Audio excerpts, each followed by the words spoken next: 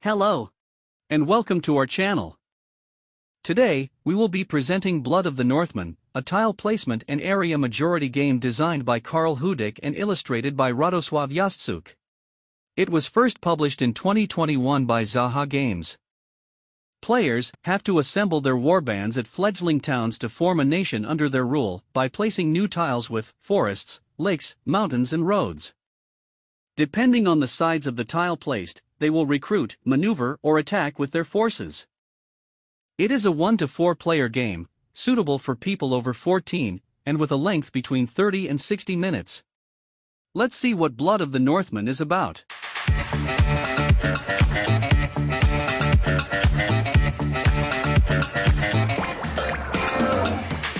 Apart from the rulebooks in English, German, and Polish, the game has one active player marker, 5 player aid tiles, 8 special ability tiles, 40 town tiles, 10 of each type, and 80 unique terrain tiles. There are also 5 double sided player boards with different Jarls. The area with circles on the left will be their settlement, and the one on the right will be used to score victory points. As for miniatures, there are 60 war bands, 12 for each player, and 12 strongholds. These bags are used to store the miniatures of the different Jarls. Let's start with the game preparation. Shuffle all the map tiles to form draw stacks. Place the piles next to the playing area within all players' reach. The draw stacks will have a different number of tiles depending on the number of players. 60 random tiles for two player games, 90 in games with 3 players, and if there are 4 players, 120. Group the stronghold miniatures to create a supply, next to the draw stack. Then, players have to choose a board which will be placed in front of them. They will also take the set of 12 miniatures matching their Jarl and place them on their settlement. Next, each player will randomly draw one special ability tile and add it to their board. Finally, they will complete their board with a player aid tile. Deal one tile from the stack to each player face up. The player who has the tile with the most mountain sides will be the starting player. This player will take the active player marker and place it next to their player board. If there is a tie, deal another tile to the tied players until they are not drawn. Continue dealing tiles face down from the stack until the starting player has 3, the player to their left 4, the next one 5, and so on. Let's move on to the gameplay. Beginning with the starting player and proceeding clockwise around the playing area. Players perform these actions during their turn, following this order. The first action is adding a tile to the map. The starting player chooses any tile from their hand and places it face up in the middle of the play area to start the map. The next two players to have a turn must place a tile from their hand so that it is adjacent to just one side of one of the previously placed tiles. Once there are three tiles in the map, and for the rest of the game, players must place tiles from their hand so that they are adjacent to at least two previously placed tiles. Forest, lake, road, and empty sides must be placed adjacent to tiles that match their type. Mountain sides are the exception, they may be placed next to any kind of side, except roads. If on their turn, players don't have a tile in their hand that they can legally place, or if they simply choose not to place one from their hand, they draw a tile from the deck and reveal it face up. Then, they can add it to the map. If they can't, or wish not to, they will discard it to a discard pile, next to the draw pile. Then, they will draw another tile into their hand, and end their turn immediately without performing any further actions. When adding a tile to the map, the active player must check all its sides and perform forest, lake, road, and mountain actions in this order. Players will count first the number of forest sides on the tile, and perform up to that number of forest actions. They may choose to perform all, some, or none of these actions, but all of them must be of the same type. There are two types of forest actions forming a warband and drawing new tiles. To form a warband, players take a warband miniature from the settlement and place it on the tile they've just added. If there are no more warbands available in their settlement, they may instead take one from any other tile on the map or from their victory points. Instead of forming a warband, players can draw as many tiles as forest sides on the tile. In this case, only one. The tiles drawn can never exceed the number of warband miniatures remaining in their settlement. For lake actions, players will also count the number of lake sides and perform up to that number of actions. By placing this tile, the player gets two lake actions. On the one hand, they can take up to three of their warbands from a single tile on the map and move them to an adjacent tile, across an empty side, or a road. Armies cannot move across mountains. They may move across a forest side, but that requires using two consecutive lake actions. In this case, they won't be able to do it, since they only have one lake action left. An army may move across any number of lake sides as one action. In this example, they could move to the following tiles. But the player decides to move along the road as their last lake action. Instead of moving their warbands, players can draw as many tiles as lake actions available. Since this player got two lake actions, two tiles could be drawn. However, they have used the lake actions to move their warbands. Therefore, drawing new tiles will not be allowed. In addition, players can only choose to draw tiles with lake actions if they didn't draw tiles with forest actions. For road actions, players will count road sides, to know how many actions they can perform. Roads allow players to take any number of their own warbands, from the same tile having a road, and move them to an adjacent tile along the road. If the destination tile does not have any enemy warbands, they may continue moving to successive tiles, until they decide to stop, or reach a tile with one or more enemy miniatures. Once a group of warbands begins moving, they must all move together, and end their movement on the same tile. That is, a player cannot choose to continue moving only some of them. Similarly, warbands encountered along the way can't join the ones that are moving. Players may move an army off the edge of the map, across road sides. When doing this, they have to trace a route either clockwise or counterclockwise along the edge of the map until they reach another roadside on a tile. Then, they move their army onto the first of such tiles and end their road action. Instead of moving their armies, players can draw new tiles. As usual, this action cannot be performed if it has been done as a forest or lake action. In this case, the player has two actions. They could use the first road action to move their two miniatures all the way until they reach the city with Halvar's warbands. And the second one to get to the next city. However, they decide to use their first action to stop on the tile where there is another of their warband miniatures, so that they are able to start their second action there, using the three of them. This way, they are allowed to group their forces. They could have also used their actions to move this miniature two times, or use an action for each group. To perform mountain actions, players have to count again the sides of the tile they have just placed.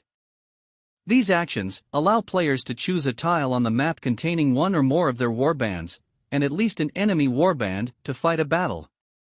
First, the active player reveals a tile for each of their warbands on the tile, plus an additional one for starting the battle. Then, going clockwise, each player fighting the battle reveals a number of tiles equal to their number of warbands on the tile. Tiles may be revealed from their hand, or drawn from the draw deck, and they must be revealed one at a time, since players may decide after revealing the previous tile from where to pick the following one. Then, each player counts the total number of mountain sides on all their revealed tiles. This sum will be their battle strength. In this example, Jarl Ingrid has a battle strength of 6, while Jarl Halvar has only managed to get 4. The player with the highest battle strength wins the battle. Each player not having the highest battle strength loses a number of miniatures equal to the difference between their battle strength and the highest strength in the battle. In this case, Halvar will lose two warbands. If there are multiple players with the highest battle strength, each of them will lose a warband too. After the battle is over, all the tiles that were revealed are discarded. Players remove their lost warbands from the tile on which the battle took place and place them back in their settlement. If they don't have enough warbands to lose, they simply lose all their warbands on the tile. If there is a single player with the highest battle strength, the player may add a warband to the tile. If that player is also the only one with warbands remaining on the tile, it will be 2 instead. Finally, the player, or players, with the highest battle strength, score 1 victory point each. Victory points are marked by taking a warband miniature from their settlement and placing it at the campfire on their player board. If there are no warbands available in the settlement, they may remove one of their warbands from a tile on the map. Players performing more than one mountain action to fight battles may fight the following battles on different tiles, or on the same one, if there are still enemy warbands there. Players don't decide the location of the next battle until the first one is over. Instead of fighting, players can draw tiles, but remember that this action cannot be performed if it has been done as a forest, lake or road action. There are several ways of ending the game. It can be won with victory points. If a player collects 6 victory points, wins the game. If multiple players collect a sixth victory point during the same battle, the victory is shared. The game can also be won by founding Bjarmia. If at the end of their turn, a player has a warband in at least one town of each type, and they are able to trace a path that crosses those towns without going over a mountain, off the map, or through a tile that only has enemy miniatures. They would have founded the nation of Bjarmia and won the game. The last way to end the game will be when there are no tiles left to draw. The player taking their turn finishes their actions. At the end of the turn, the player with at least one warband in most towns wins. If there is a tie, the player with the most victory points wins. If still drawn, the player with the most warbands on the map is the winner. If the tie persists, the game is drawn between them. There are two advanced modules for players who are familiar with the game Commodities and Strongholds. Each can be added separately to the game, or they can be combined for even a richer experience. With the Commodities module, when players add a tile with a town to the map, and before resolving any of the basic actions, they can gain a number of additional actions. For each town of any type on the map, in which only their warbands are present, they gain one additional action. For each town of the same type as the newly placed one, in which only their miniatures are present, they gain another additional action. Players performing a mead action place one of their warband miniatures from their settlement into a reserve in front of them. If none are available in the settlement, they may remove one from a tile on the map, or from their scored victory points. The warband miniatures in a player's reserve may be spent later on the current turn, or in any of the following turns, together or separately, as extra forest, lake, road, or mountain actions. They may be spent this way, even if the player is not entitled to any actions of that type from the tile placed. Warbands used for this purpose are removed from the reserve and are placed back in the settlement. Players performing pelt actions return all their victory points and then score one victory point for each pelt action. For example, if a player has three pelt actions and two victory points, they can return those victory points to their settlement. Then, they will mark each of the new victory points by taking a miniature from their settlement. Or, if none are available there, by removing one from a tile on the map, or taking one from their reserve. Players can never add points to their score with a pelt action, beyond the number of warband miniatures they have on the map. Players performing silver actions must discard one tile from their hand, and then choose a tile on the map where they have a warband miniature, and there is also at least a warband from another player. From that tile, they remove one miniature of any other player, which is then returned to their owner's settlement. Removed warbands are bribed without battle. Therefore, no victory points are scored for their removal. Players performing tusk actions may place a tile from their hand face down in front of them. This tile is kept together with any other previously prepared tiles. Prepared tiles may be used in battles on future turns, whether it is a battle started by the player or by another one. Right before players draw tiles to determine battle strength, they may choose to reveal some or all of the prepared tiles in front of them, adding the number of mountainsides on the tiles to their battle strength. Prepared tiles are used in addition to the battle tiles the player normally receives. Unused prepared tiles are kept face down for future battles. But the ones that were used are discarded after the battle. As for strongholds, whenever players add a tile to the map, and before resolving town or basic actions, they may place a stronghold on one of the sides of the tile, adjacent to another side of the map.